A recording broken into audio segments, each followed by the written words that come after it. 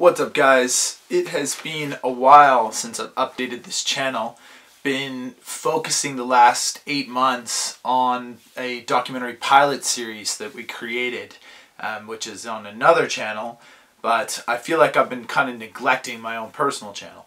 I've had a YouTube channel for probably seven years. I could probably take a look in the about section, figure out exactly when I started it, but uh, it's been a while and I've always really updated it with travel videos from, you know, maybe like three weeks kind of condensed into two minutes and really fast paced music, fun, exciting, uh, not a lot of audio, just a whole bunch of visual engagement and kind of wrapping that whole travel, you know, three week experience into two minutes. It's worked really well, enjoyed making them.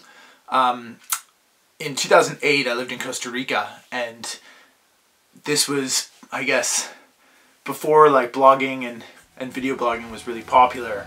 Um, and we put together a half an hour DVD and sent it out to friends and family around the world.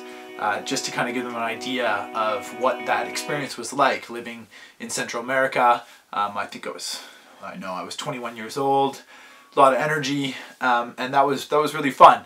And things have changed a lot since then.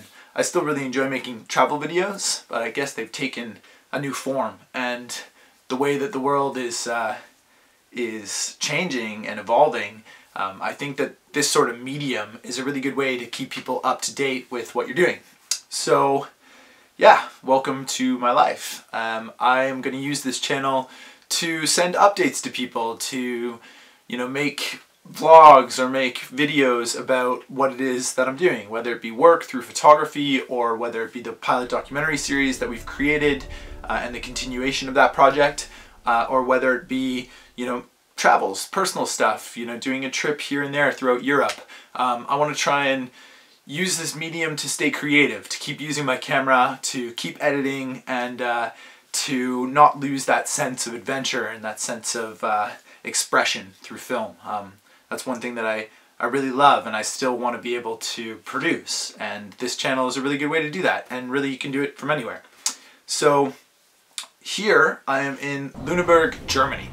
I moved here in January of this year and got a one-year work visa in April. So my one-year work visa is six months in and I've got another six months going into 2016. So I've been using that to travel around Europe and do different photography contracts, working essentially as a travel photographer.